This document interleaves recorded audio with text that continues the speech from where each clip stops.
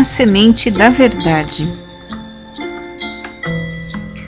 O imperador precisava achar um sucessor. Sem filhos nem parentes próximos, ele decidiu chamar todas as crianças do reino. Carri foi uma delas. Ele era um menino ótimo, dedicava-se ao jardim de sua casa e cada planta tocada por ele crescia viçosa e forte. No dia marcado, dirigiu-se até o palácio, onde havia milhares de pequenos súditos.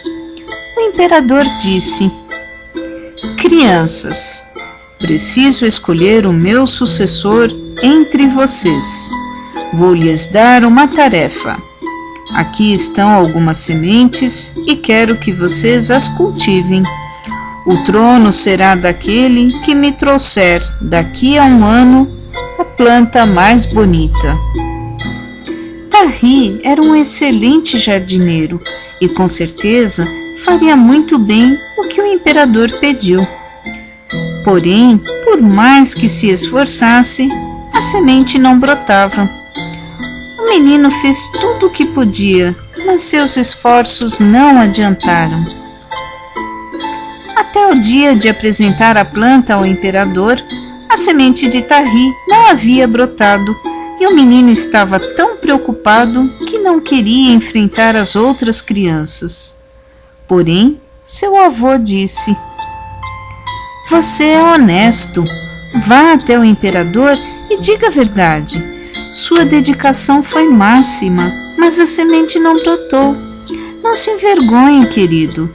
Apenas explique o que você fez, pois devemos sempre agir com honestidade, buscando a felicidade sem que a nossa alegria faça alguém infeliz.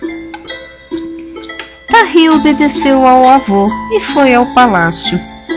Entretanto, ao chegar lá, ficou assustado, pois era a única criança que não levava consigo uma belíssima planta. O imperador chamava as crianças e examinava os vasos.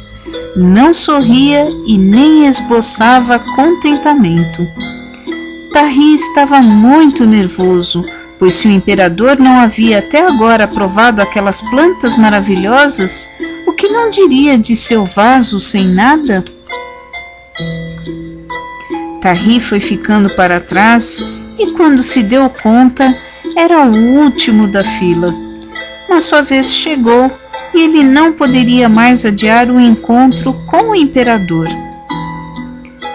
Vejamos, meu jovem, o que tem aí para mim. Tarri não pôde mais evitar as lágrimas.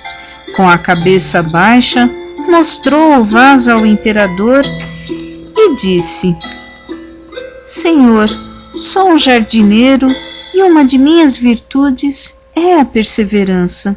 Mas por mais que eu tenha me esforçado, a semente não brotou.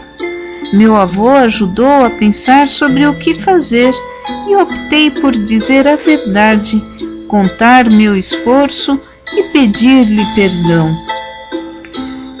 Não se envergonhe, criança. Você fez o certo. A sua grande virtude foi dizer a verdade, pois eu havia queimado todas as sementes e nenhuma poderia germinar. Portanto, você foi o único que de fato plantou a semente da verdade.